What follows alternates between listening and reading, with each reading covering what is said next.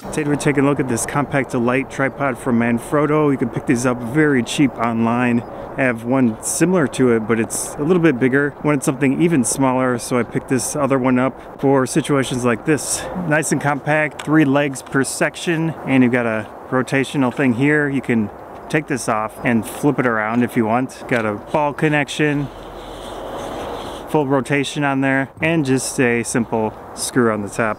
You can go vertical or horizontal. Nice thing about these tripods is that they're quick to open.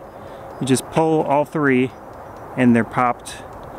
Then you just have to lock each one down. Maybe there are faster ways to do it, but in this case, pretty quick. I taped this rubber thing down there. So instead, they put a little pin, which is nice, spring loaded. So you can see here, doesn't get to the same height as other one. The bottom legs don't go as wide, which isn't ideal, but still it is much more compact when it's compacted up. And I've never been fond of this thing as I mentioned, so whatever to that. This one's simple.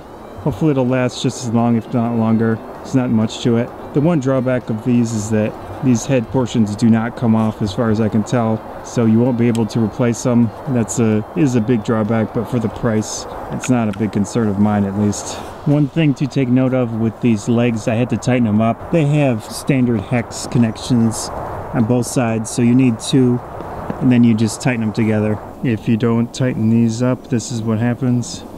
Kind of flops around. Not ideal, but if you do tighten them enough, it's pretty cold out, so what's happening is that when I tighten these inside, they loosen up much quicker compared to if I were to tighten them, say, out here or somewhere that'll give them a much tighter tight. So we got our tripod, pop out the camera, M5 with the standard adapter, biggest I've got. And try a few photos around here. Often what I do is I hold it by the center section, leave the legs open. In this case, it's a little easier than this tripod.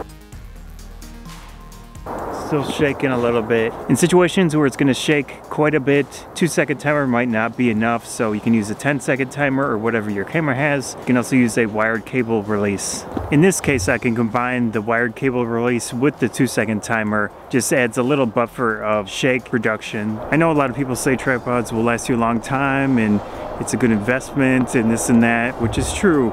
But sometimes if you buy cheaper ones that are good enough, you're less likely to baby them, you're less likely to care if you damage it.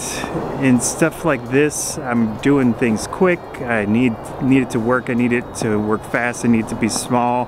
Now I could spend $500 or something on a super compact carbon fiber travel tripod, or I can buy one for 40 or $50 and it'll last maybe just as long or maybe I'll have to buy two or three of them you know there's always a possibility of it just lasting a good long time just like the super expensive ones so. I'm not against expensive tripods I'm just saying there are options that are good enough and you're not going to baby it. See it's holding it okay.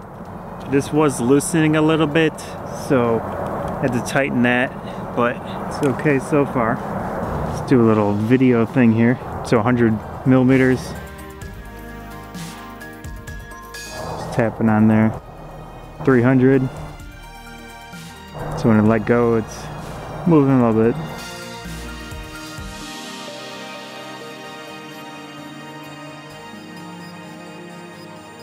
Not too bad. Besides a standard camera, you can put a cell phone with the proper adapter, which I do have with me. See no issues with the, anything small like this. Definitely a good use case for this tripod, but works just fine with cameras too.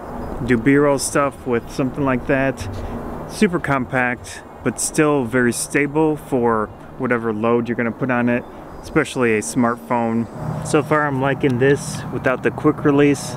Just simplifies things. Rubber feet, I usually cover them. So far so good with this tripod. Definitely pretty compact, a little bit smaller than this one I'm using right now that I've been using for years with a, a few other ones, but this one has been my main kind of video outdoors type of thing tripod. As long as the height doesn't turn into an issue, I don't see this being any worse in any respect because it is more compact. It's quicker to set up. I don't have to mess with the quick release thing. Just not many negatives here. So that was that Manfrotto compact light tripod. This other one I don't think is even sold anymore with that grip handle thing see how it works out. Maybe in the future I'll talk about it more, but so far so good. Hope you enjoyed the video. Scott Photography Banzai. If you did enjoy the video, please consider subscribing.